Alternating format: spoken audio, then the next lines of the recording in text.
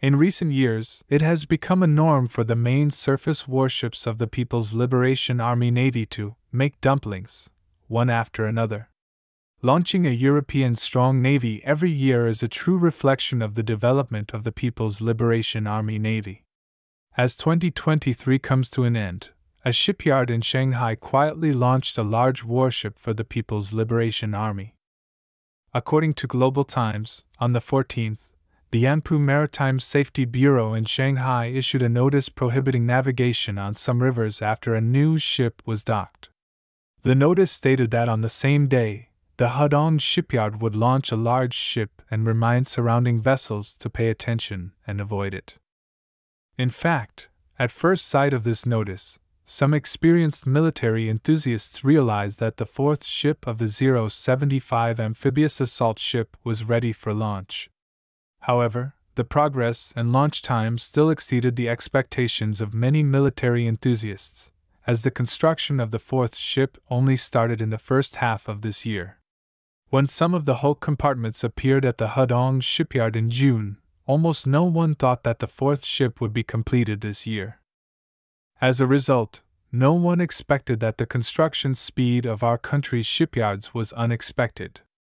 By October, photos exposed on social media showed that the hull of the number 4 ship had been closed, and the superstructure of the island was ready to start construction.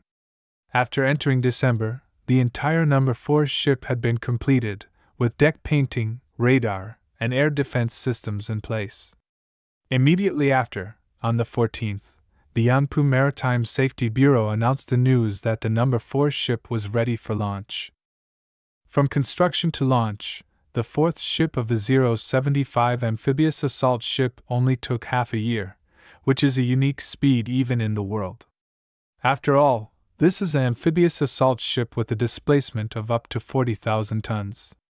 It takes at least five years for the U.S. Ingalls shipyard to build an equivalent tonnage U.S. class amphibious assault ship, while the fourth ship of China's 075 amphibious assault ship only took half a year to complete. If combined with the situation of the three already launched Type 075 amphibious assault ships, the construction speed of China's large warships has actually been constantly improving. Type 075, Type 1, took the longest time from construction to launch, and then to service, taking a total of more than three years. Type 2 was shortened to about two years, while Type 3 only took two and a half years to enter service in the People's Liberation Army Navy from the shipyard. That is to say, since the construction of the number 1 ship in 2018, China has achieved the launch and service of three 40,000 ton amphibious assault ships in just four years, demonstrating the strong production capacity and technological accumulation of China's shipbuilding industry.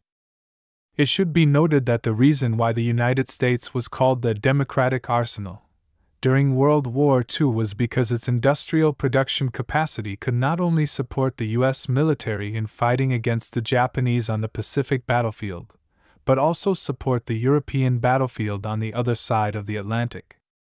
But now, with the intensification of industrial hollowing out, the United States is no longer as brave as before.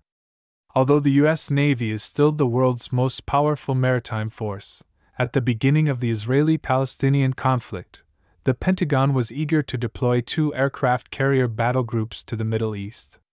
However, behind the United States' arrogance lies the dilemma of the Navy being unable to repair old ships and build new ones. There have been many stories about American warships waiting in line for repair and shipyards tearing down old ships to repair new ones. Even Pentagon officials have wrote that he hopes to live in a world where a shipyard can launch three destroyers or submarines a year, but it is obviously impossible. Compared to the declining U.S. Navy, the Chinese Navy is gradually moving towards deep blue waters. Careful netizens should note that in recent years, China's media coverage of the launch of a new Navy ship has not been as high profile as before, unless it is when encountering a large military ship with epoch making significance, such as the Fujian ship. After the launch of the 075 Type 4 ship, some netizens even humbly gave up the naming rights of this new military ship, hoping that their hometown could be nominated for a nuclear powered aircraft carrier. The humility of netizens may have a humorous connotation, but this confidence also reflects the vigorous development of the Chinese Navy in the new era. Once upon a time, Chinese military enthusiasts debated about when China will have an aircraft carrier. However, now a Type 075 amphibious assault ship can no longer satisfy the appetite of Chinese military enthusiasts. What people are more looking forward to is the emergence of larger and more advanced ships. There is a topic of much discussion, which is why our 075 ship has such a fast formation efficiency. Why is it so urgent? I think this question can be answered from multiple perspectives. Firstly, amphibious warfare has always been a weakness of our army for a long time in the past. The total length of China's coastline is 32,000 kilometers, with a jurisdictional sea area of 3 million square kilometers. However, the gap period in the past was too long, so it may seem urgent to quickly supplement our amphibious combat capabilities. However, based on reality, it is not only not urgent, but even not enough. You should know that the amphibious assault ships of the United States are in double digits, and we need more. In addition, compared to aircraft carriers and Type 055 destroyers, the construction cost of the 075 ship is relatively lower. In addition, our construction industry chain for large ships is already quite mature, and we have the conditions to achieve rapid mass production of the 075 ship. And we know that the current situation is not waiting for anyone. In recent years, whether it is the situation in the Taiwan Strait or the South China Sea, it has become a direction that we must pay attention to. To build our own response forces in the Taiwan Strait and South China Sea and safeguard national sovereignty, amphibious warfare capabilities cannot be lacking. Amphibious assault ships are known as quasi aircraft carriers. With a tonnage of 40,000 tons, even exceeding the light aircraft carriers of many countries. Its inclusion is of great significance for enhancing China's amphibious warfare capabilities. Actually, unlike what most people imagine, amphibious assault ships undertake much heavier tasks in contemporary navies than aircraft carriers, which is mainly determined by the characteristics of amphibious assault ships themselves. The amphibious assault ship looks very similar to an aircraft carrier in appearance because, like an aircraft carrier, it adopts the design of a full flight deck, a right side island, and both have aircraft elevators and hangars, which can carry dozens of aircraft. However, amphibious assault ships mainly carry helicopters, and in the future, China's amphibious assault ships can also carry various types of reconnaissance and combat integrated drones and other equipment. Moreover, the amphibious assault ship is designed with a huge dock and vehicle deck. In addition to possessing airstrike and delivery capabilities, China's Type 075 amphibious assault ship can also carry a fully equipped composite battalion and deploy it to any coastal location around the world. It is not difficult to see that amphibious assault ships are primarily tasked with delivering troops, so these types of warships have strong multi-purpose performance and undertake much more diverse tasks than aircraft carriers. For example, the main task of amphibious assault ships is to deploy troops to designated beachhead positions during amphibious operations, in order to ensure the success of amphibious landing operations. But at the same time, amphibious assault ships can also perform various tasks such as anti submarine patrols, anti mine operations, and mine laying. In the future, if China's amphibious assault ships carry reconnaissance and strike integrated drones, they can also carry out medium to long range reconnaissance and surveillance, as well as air to ground strikes and other tasks.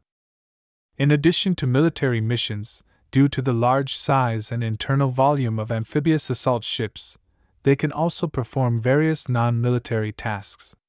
For example, during the 2004 Indian Ocean tsunami, the U.S. Navy dispatched amphibious assault ships to the disaster stricken areas of Indonesia to assist in rescue and evacuation missions. During the 2014 Libyan civil war, we urgently dispatched warships to Libya to assist in the evacuation. However, due to the large number of personnel in Libya at that time, we had to rent ships from civilian shipping companies to assist in the evacuation, while warships were responsible for covering the evacuation vessels on the periphery.